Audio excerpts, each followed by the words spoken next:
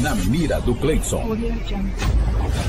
Apoio Ótica e Relojoaria Dara, na 28 de outubro centro. Telefone 3241 2971. Polivete, Clínica, Cirurgias e Pet Shop. Fone 3241 3440, plantão 99989 3263.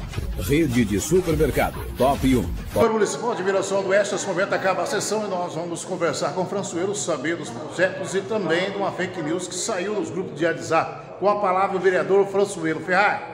Estamos com o vereador Françoeiro. Françoeiro, apesar das indicações hoje aqui na Câmara Municipal, também o que chamou a atenção na tribuna foi aí utilizando a imagem de 2019 sobre aí um valor de 60 mil reais utilizado nas padarias. E nesse momento o senhor estava como prefeito. O que o senhor pode dizer para a gente sobre essa situação? Quero dizer, Cleiton, que a pessoa que utilizou minha imagem almoçando num dia que eu trabalhei e não consegui na minha casa almoçar, a Marlizinha, servidora do município, me levou um almoço, quero agradecer ela aqui em público novamente. Eu estava almoçando, já era mais de duas horas da tarde, uns amigos estavam no gabinete e fizeram uma foto. Quando eu terminei a gestão, o mandato de 55 dias, eles fizeram uma postagem homenageando que a gente trabalhou, que ficou aquele legado e tal. E um, um veículo de comunicação do nosso município, o Miração Urgente, utilizou daquela minha imagem para colocar uma matéria tratando sobre a compra de produtos na padaria. Ou seja, uma total maldade.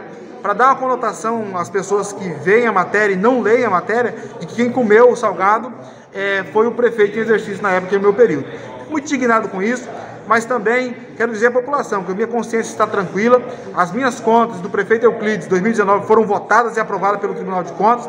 A despesa com padaria, naquele período, e a despesa que padaria que o município tem, não é para dar café da manhã a nenhum servidor, pelo contrário, é para os programas do município, como o Encontro da Terceira Idade, o CAPS e tantos outros programas, o programa Muxurum, que é educação de idosos. Então é assim que funciona. As pessoas tacam pedra e eu quero é dizer que árvore que não dá fruto, ninguém lança pedra. Se estamos lançando pedra, é porque o nosso trabalho está dando resultado. Quero deixar a população ciente que esse vereador é muito transparente em suas ações. Muito obrigado.